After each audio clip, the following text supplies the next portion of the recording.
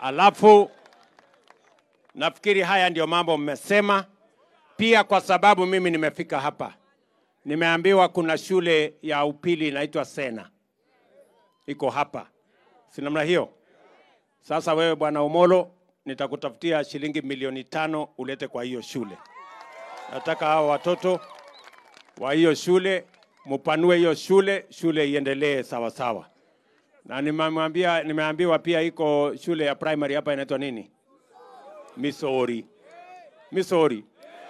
Haya, Omolo uta- utakupatia milioni ingine mbili, peleka pale Misori, si ndio?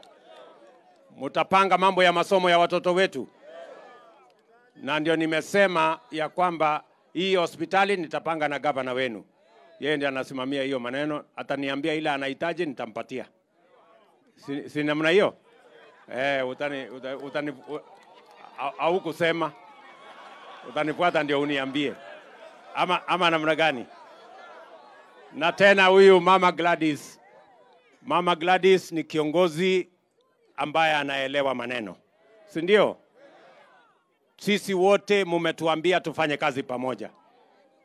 Huyu gavana wenu amesema yeye na nyinyi wengi wenu ni watu wa baba, si namna hiyo?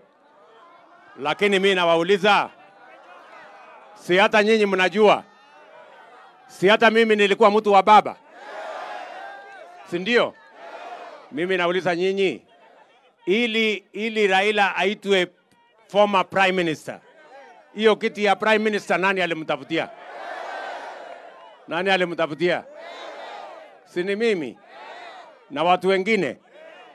Las, sasa siku ile mimi nilikuwa mtu ya baba, lakini siku hizi kwa sababu mimi ndio rais, baba amekuwa mtu yangu.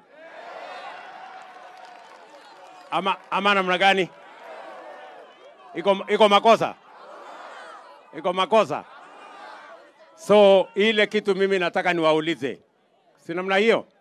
Tunataka tuunganishe Kenya, tunataka tutembee pamoja, tuache siasa ya kugawana, tuache siasa ya ukabila. Tunataka tuungane kama Wakenya. Chama ni mambo ambayo inatusaidia kwa demokrasia. Tukishamaliza uchaguzi, sisi wote tunaungana kama viongozi, tunafanya kazi.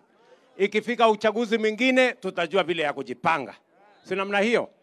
Kwa saa hii tushirikiane jameni, tufanye kazi pamoja.